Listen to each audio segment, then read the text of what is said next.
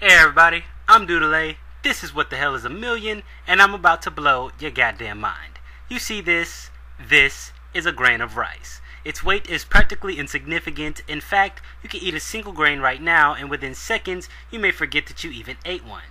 But multiply that one grain by a million grains, and that grain of rice within your gut becomes an astonishing 44 pounds.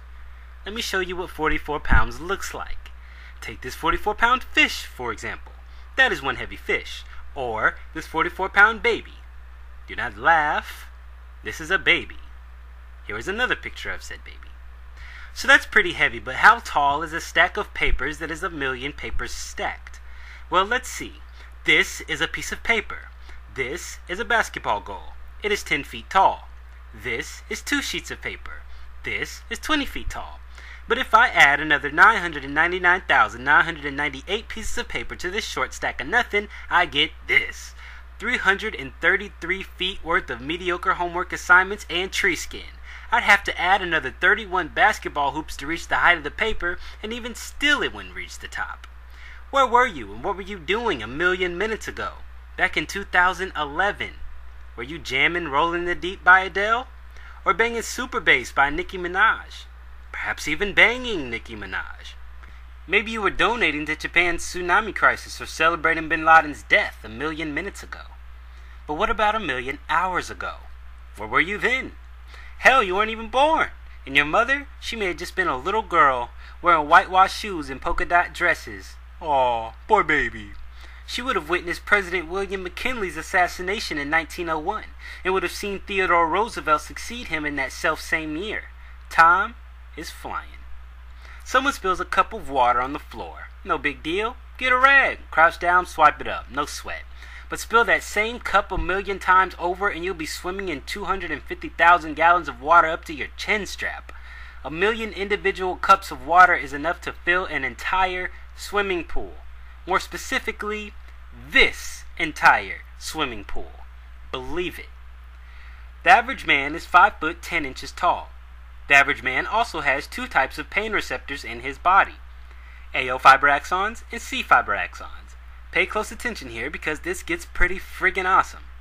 AO fiber axons are the fibers responsible for the quick and sharp initial pains that a person may feel after an injury, whereas C fiber axons are responsible for the prolonged and slightly less painful pain that persists shortly thereafter.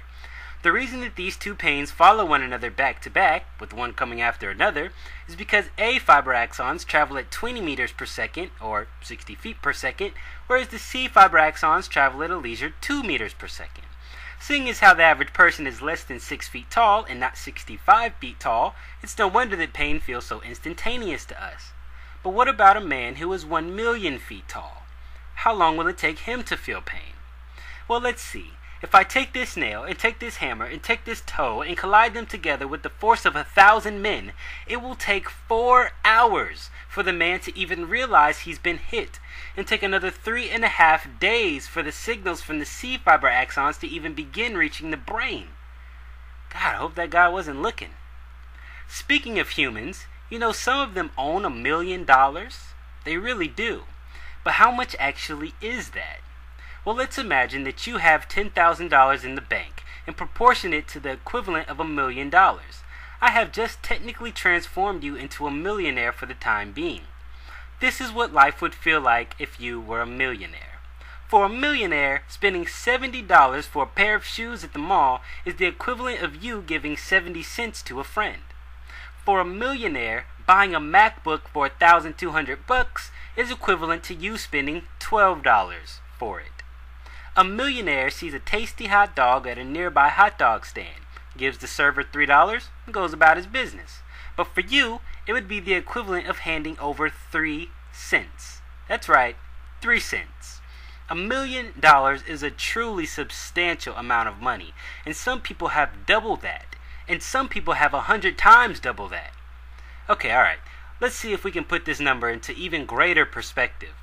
The average person has between 100 and 150,000 hairs on their head.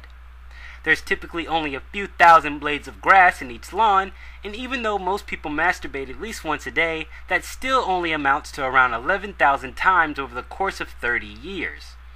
Now perhaps you can appreciate the epicness that is this number and come to a better understanding of what we're all going to have to do to become millionaires. We can do it. You can do it. But in the meantime, subscribe!